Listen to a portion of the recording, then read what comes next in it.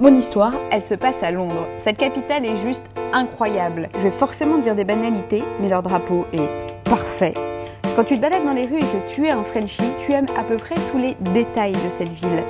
Par exemple, tu peux aller au parc et tu peux voir une bataille entre un écureuil et un pigeon. Et tu verras l'écureuil mettre deux petites claques dans la tête du pigeon. Et ça, c'est un truc que tu verras jamais en France. Mais en réalité, même si cette histoire, elle se passe à Londres, c'est plutôt dans un bout de France qu'elle se passe.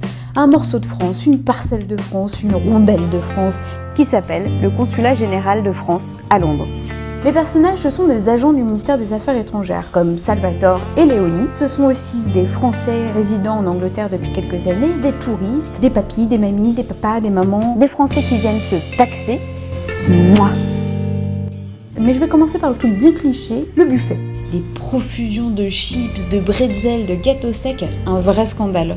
J'ai enquêté. Non, sérieusement, cette séquence, c'est LA séquence émotion de cette vidéo. Ce matin, Mohanad Malek est officiellement français. Une fois par mois, au consulat, il y a la cérémonie d'entrée dans la nationalité française. Dans le quotidien d'un consulat, c'est toujours un moment spécial. Devenir français, ça ne se fait jamais du jour au lendemain. Par exemple, pour ce professeur en biologie à Cambridge, marié à une Française depuis 6 ans, c'est un vrai rêve d'enfant qui se réalise. Il m'a raconté comment son père, en Syrie, lui a transmis sa passion pour la France sa volonté tenace d'avoir des enfants capables de parler la langue de Shakespeare. Euh, non, pardon, la langue de Molière. Dès que j'ai commencé à aller à l'école, il a voulu me mettre dans une école française.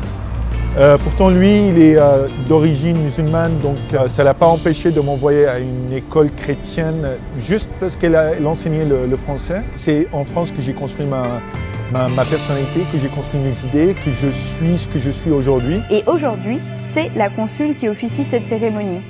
Mais pendant ce temps-là, mes autres personnages, Léonie et Salvatore, sont au service des Français en difficulté, qui ont ou perdu leurs papiers, ou qui ont besoin de les refaire, ou qui se sont fait bien gentiment piquer leurs sacs dans la rue ou dans des bars. J'ai trouvé chez Léonie et Salvatore beaucoup de patience et de calme pour chaque personne accueillie. Alors, qu'est-ce qui vous est arrivé? On a volé mes sacs. C'est pas de chance. Vous partez quand J'étais juste au restaurant, j'étais en train de, de dîner et en fait euh, j'ai regardé euh, sur le, le, bord de ma chaise et mon sac avait disparu.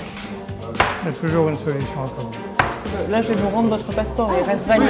On récupère pas le passeport. Il sera annulé quand vous viendrez récupérer le nouveau. Donc, Quand on viendra récupérer l'autre, on prendra celui-ci.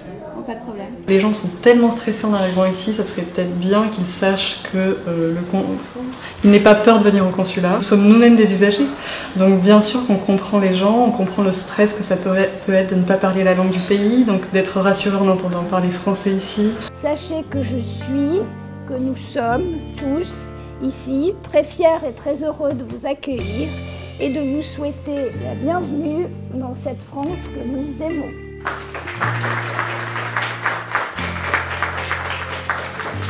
C'était un petit peu émotionnel. Je crois qu'il y a pas mal, il y a pas mal qui, avaient caché euh, leurs émotions. Euh, J'en faisais partie et à partir d'aujourd'hui, je, je, suis considéré comme citoyen français avec plein de droits et euh, beaucoup de devoirs aussi. J'ai l'impression en fait c'est un, une nouvelle étape dans, dans ma vie, un nouveau commencement. Cette cérémonie officielle, elle permet de boucler un long, long, long, long chemin administratif. Et tout comme le mariage ou la naissance, ce sont des moments dans une vie qu'on n'oublie pas. Voilà, mon histoire dans les murs de ce consulat français se finit ici.